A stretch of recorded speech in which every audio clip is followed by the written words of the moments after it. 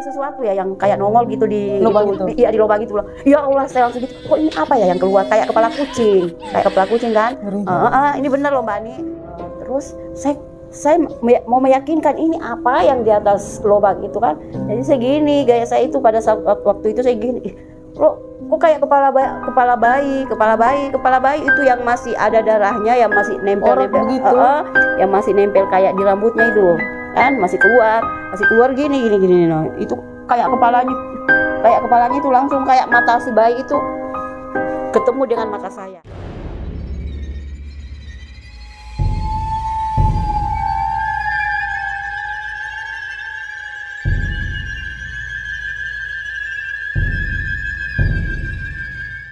Assalamualaikum warahmatullahi wabarakatuh. Waalaikumsalam warahmatullahi taala wabarakatuh. Guys, hari ini eh, saya menghadirkan narasumber eh, yang baru datang dari satu daerah. Mereka baru bergabung bersama kami eh, akan membawakan cerita-cerita yang dialaminya itu eh, tentang kejadian yang cukup seru dan menyeramkan. Nah, bagaimana cerita selanjutnya? Kita temui narasumber berikut ini.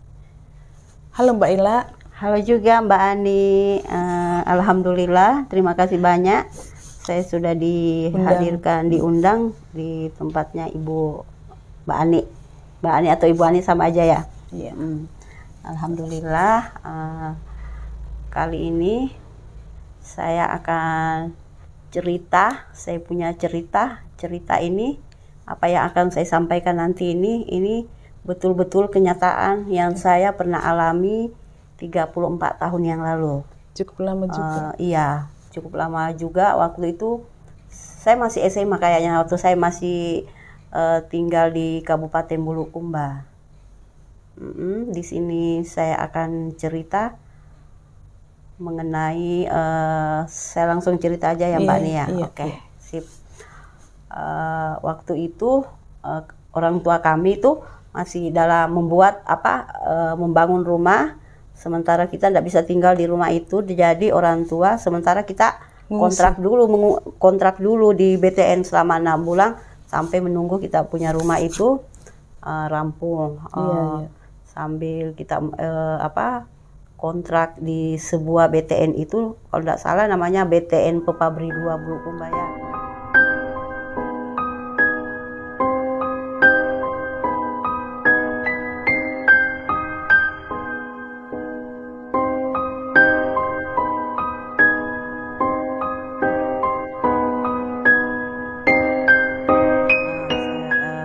kontrak di situ selama enam bulan.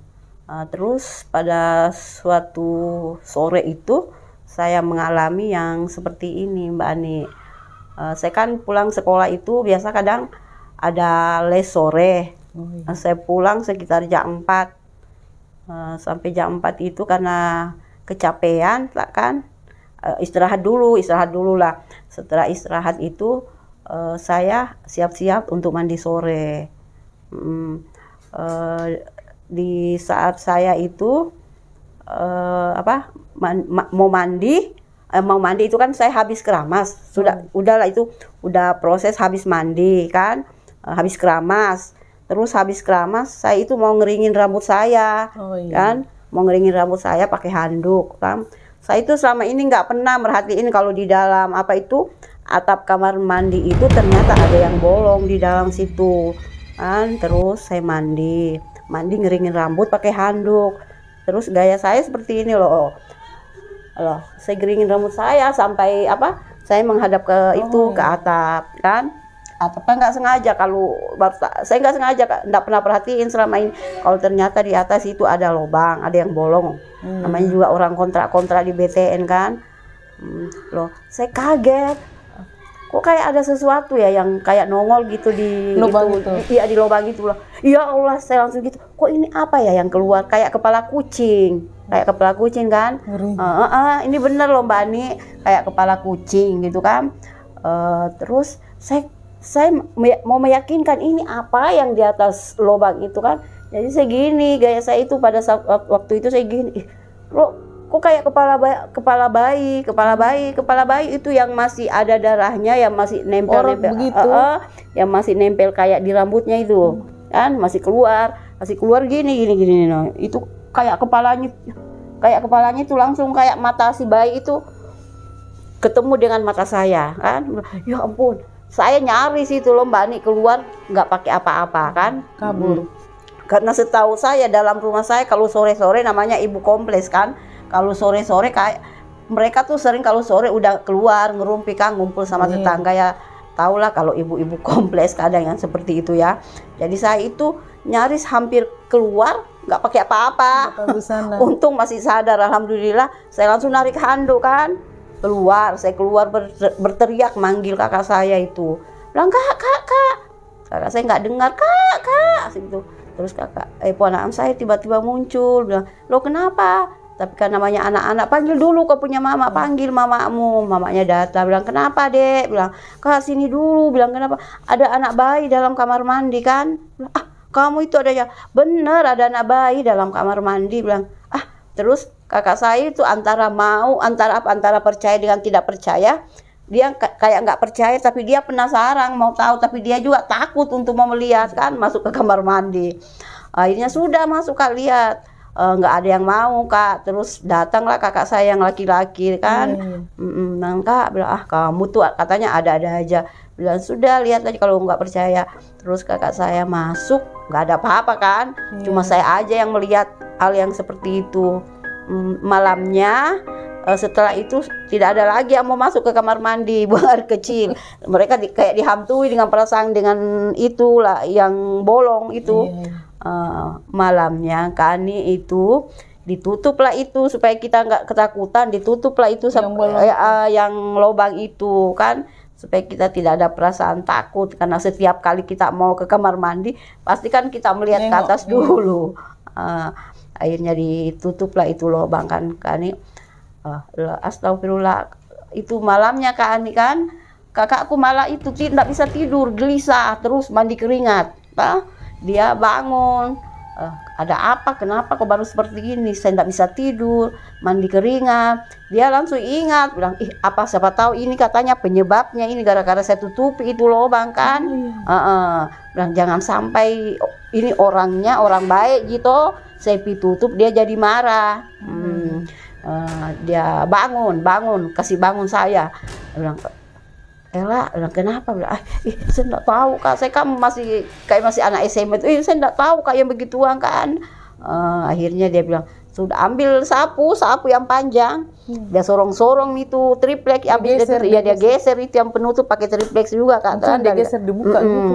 dia geser dia geser sedikit terbuka itu terbuka itu anunya kata Lubang. lubangnya enggak tertutup nih itu akhirnya hmm, agak baik mi dia rasa kak istirahat mi. Paginya dia cerita lagi dari mulut ke mulut dia cerita. Katanya sudahlah macam-macam itu kak toh bilang ada yang begini ada pernah dipakai membuang bayi itu katanya sebelum menjadi perumahan itu kak kan. Tempat pembuangan bayi ada orok situ yang dikubur. Tapi kan saya wak- waktu itu belum saya tidak kepikiran sampai hal-hal seperti itu.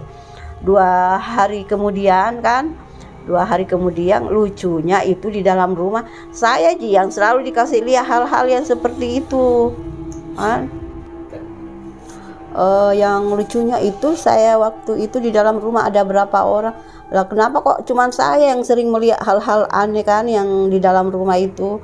Eh, terus dua hari menjelang peristiwa itu Pak Ani saya kan sore itu istirahat lagi dalam kamar kan. Hmm. ternyata sore itu saya sendiri lagi di dalam kamar yang lain pada keluar lagi ngerumpi di depan rumah bertetangga begitu. Saya sendiri lagi menjelang maghrib lagi saya tidur. Saya kan belum apa yang paham katanya ndak boleh orang tidur menjelang maghrib. apa sering nggak paham yang begitu yang penting ngantuk ya tidur saja kan? Hmm, mm, mm. Pak Mali kan orang bilang Pak Mali tidur Iya, jam-jam Pak Mali. segitu. Ah, saya kan tidak peduli belum bisa mengerti yang seperti itu kan. Kita masih umur berapa itu waktu masih masih 17 18 belasan Ah, masih ah, belasan ah. abege abege anak baru baka belum belum paham yang begitu-begitu kan? Iya. tidur lagi. Saya terbangun mau mandi. Ih kenapa ada suara bayi lagi? Lama saya pelajari ih dari mana arah suara itu? Ih, kayaknya semakin dekat sama saya itu suara bayi. Nangis. nangis kayak suara bayi itu kali yang menangis. Nangis iya saya perbaiki lagi. Ih, ampun ini kenapa lagi ada suara yang begini? Terus saya berteriak lagi ih ternyata tidak ada lagi orang dalam rumah. Keluar lagi semua ngerumpi. Lari lagi saya keluar mencari orang minta cari pertolongan kan? Cari lagi. Kebetulan ada dekat dari situ di depan agak depan rumah itu kakak saya berdiri. Bilang kak, kak bilang kenapa? Eh ada lagi suara bayi. Bilang suara bayi? Nggak tahu suara bayi. Bilang mana? Bilang coba kak dengar dengar dengar dengar. Toh bilang tidak ada. Kenapa kau selalu mendengar hal-hal yang seperti seperti yang seperti itu? Selalu bayi-bayi bilang kak ya Allah astagfirullahaladzim Ah, seperti itu kak. Jadi akhirnya kita eh, cerita lagi sama tetangga ada yang seperti ini. Eh, disuruhlah kita bilang coba ki cari orang yang pintar. Apa kak? Kayaknya dia bilang kalau apa itu bilang pasili rumah tak begitu toh supaya dikasih pindah baik-baik. Kan kalau anu? Pasili. Di ruki dinetralisir Hmm, di ruki ya ki. Heeh, di Rukia kalau kita di kampung kan bilang dipasili Pasili. apa kak. Ya enggak ya dipasili begitu mungkin kayak mm, dipasili Pang- Mm-mm, tapi itu waktu kita ustaz ada ustaz juga. Saya lupa ustaz siapa ya? Saya pak itu waktu. Sudah su- sudah lupa kak itu. Karena sudah ini kan sudah 30 tahun lebih kak. Ah, sudah lama kan peristiwanya. Saya lupa namanya. Eh, terus cuman yang saya ingat itu waktu dia cuman bilang mm, orang orang dulu kan biasa kalau begitu kak dia pakai kayak apa kayak sesajian begitu kan di dulu apa kan namanya itu kapar Kak. Iya. kalau di kampung itu mm, sesajen Ba- baki-baki yang Iya. bulat itu kan. Mm, mm, mm, mm. itu dia pakai yang seperti itu kapara terus dia jelaskan anu ki eh, apa anu ki saja baik-baik ini orang baik sudah saya pindahkan baik-baik nah, tempatnya Eh, cuman seperti itu yang disampaikan sama Ustaznya. iya iya. Sama kami saya sudah pindahkan ini orang baik-baik jika tanya. Yang masalah kan kenapa cuman saya yang selalu mendengar? Yang seperti itu yang lain tidak ada. Padahal di waktu itu di dalam rumah itu penghuninya ada tujuh orang.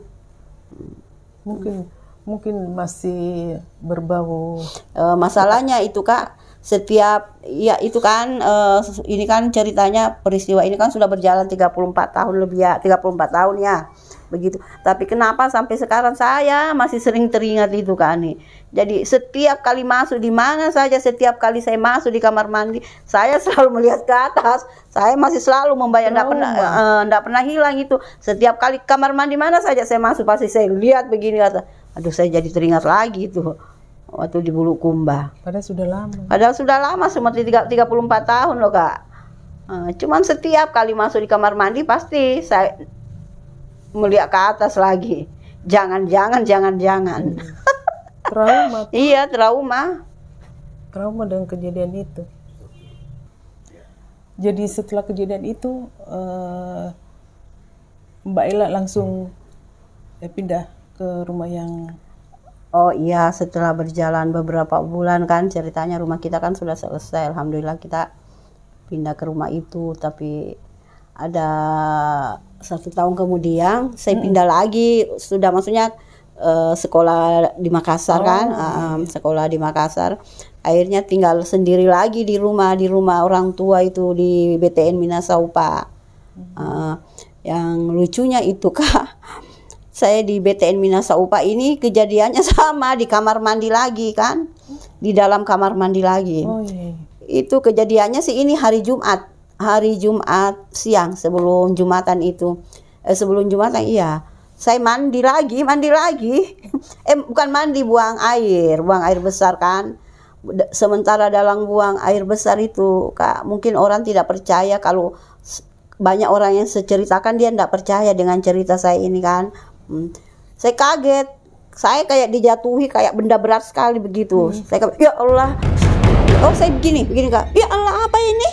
Terus saya ih ular kak. Ular besarnya seperti ini. Seperti tangan saya ini besarnya.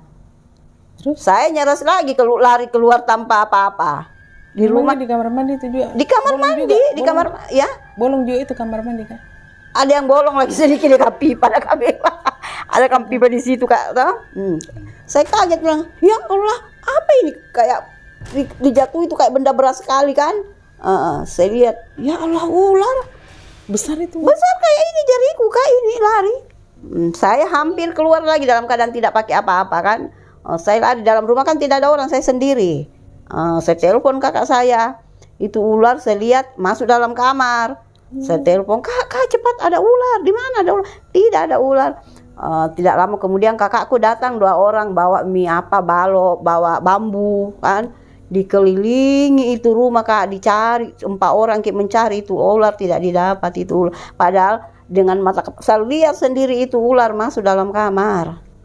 Saya lihat. Bukan di ular jadi ya. yang itu yang saya tidak tahu kak. Saya tidak mengerti yang dulu kan saya tidak mengerti yang seperti itu. Hmm. akhirnya diikuti dicari satu rumah tidak ketemu itu ular kak Untung mungkin ada tempatnya. saya kurang tahu kak ya masalahnya kenapa di Bulukumba di Makassar. Saya kok sering mengalami kayak hal-hal yang bagaimana kan? Atau padahal itu waktu kan ceritanya saya masih umur bagaimana jadi aduh. Kadang takutnya itu kalau ingat kan kadang sampai kalau teringat lagi itu peristiwa-peristiwa sementara dalam rumah kita sendiri saya pasti ke rumah tetangga lagi numpang tidur numpang mandi Eh, saya apa cerita seperti ini eh, setidaknya mungkin teman-teman semoga tidak terjadi sama yang lain ya. Kalaupun ada yang terjadi seperti itu, mungkin bisa kita apa mengambil suatu apa ya? eh, Kita jangan sampai panik. Kayak saya kalau panik kan bisa bisa jadi gimana kalau saya keluar tanpa apa-apa kan dari kamar mandi. Un- iya begitu. Untung saya masih bagaimana masih sempat menari handuk. Alhamdulillah, berarti saya masih dilindungi dari ah, itu masih dilindungi sama Allah dan dari hal-hal yang kita tidak inginkan. Eh, mungkin eh, cukup sampai di sini eh, cerita saya Eh, dan mohon kiranya atas segala kekurangan dan kelebihan saya menyampaikan cerita ini saya mohon diterima dengan baik dan saya mohon maaf atas segala kekurangannya. Sekian dan terima kasih. Assalamualaikum warahmatullahi taala wabarakatuh. Teman-teman, demikianlah tadi eh, cerita yang dibawakan oleh narasumber Mbak Ella yang ceritanya cukup membuat bulu kuduk kita merinding, yaitu tentang eh, bayi dan ular, ular dado. Sampai di sini dulu eh, cerita kita. Semoga teman-teman dapat mengambil hikmah dari eh, cerita ini. Oke, teman-teman. Sampai jumpa di konten-konten selanjutnya. Jangan lupa di subscribe, like, komen, dan share. Assalamualaikum warahmatullahi wabarakatuh. Waalaikumsalam warahmatullahi